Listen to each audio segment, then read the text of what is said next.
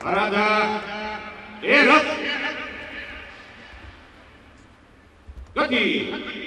Bum! Forcat e Armatosura të Republikës së Shqipërisë kanë obligim më shumë se kushdo të ndjehen krenarë në njëqind vjetorin e pavarësisë së vendit. E për të dhënë maksimumin në këtë festë të shënuar, ushtria ka nisur përgatitjet për paradën madhështore që do të zhvillohet në njëzet e tetë nëntor në qendër të Tiranës. Vizion Plus sjell për herë të parë pamjet e provave të forcave ushtarake mbi parakalimin që do të ndiqet nga miliona shqiptarë e që do të nderohet dhe nga krerët më të lartë të shtetit.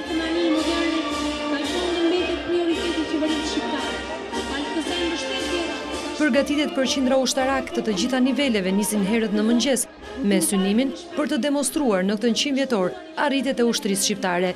Në ambientet e Shkollës së Bashkuar, provat nisin në orën nëntë e tridhjetë minuta në një organizim që ndiqet nga grupi i stërvitjes i përbërë nga kolonelë të njohur të Forcave të Armatosura. Asgjë nuk ndryshon nga ajo që do të shpaloset në sheshin Skënderbej përveç vendit. Në fillim do të jetë shefi i Shtabit të Përgjithshëm gjeneral Xhemal Gjunkshi, i cili i hipur në një makinë ushtrie do të parakalojë përpara Presidentit të Republikës Bujar Nishani, që është njëkohësisht Komandant i Përgjithshëm i Forcave të Armatosura.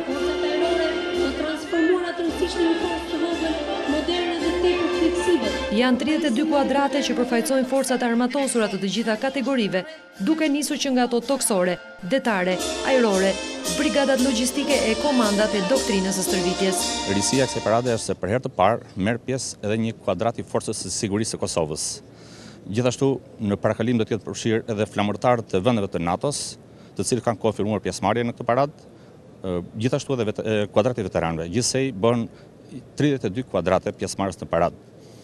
Ushtarakët në këtë paradë janë shumë të motivuar, mbasi është parada e qind-vjetorit, i cili përbën një eveniment shumë shumë të rëndësishëm për gjithë mbarë hapësirën shqiptare dhe ne jemi të përgatitur për ta përfaqësuar denjësisht Forcën e Armatosur dhe shtetin shqiptar në këtë paradë. Në këtë parakalim janë përfshirë dhe forcat e Policisë dhe Gardës së Republikës. Në paradë merr pjesë edhe një kuadrat i Policisë Ushtarake si dhe i Gardës së Republikës dhe këto bëjnë pjesë në manifestimet tona janë gjithmonë pjesëmarrës në këto parada. Është bërë tradicionale tashmë ky pjesëmarrje e këtyre forcave. Një mijë e pesëqind ushtarakët që do të përfaqësojnë Forcat e Armatosura në këtë event, do të mbajnë për herë të parë të veshura dhe uniformat e reja, ngjyra e të cilave do të jetë në gri. Parada mendohet të nisë nga rruga e Durrësit në drejtim të sheshit Skënderbej. Gjithçka është gati për njëzet e tetë nëntorin me paradë dhe improvizime stërvitjesh të ushtrisë shqiptare që tashmë është pjesë e NATO-s.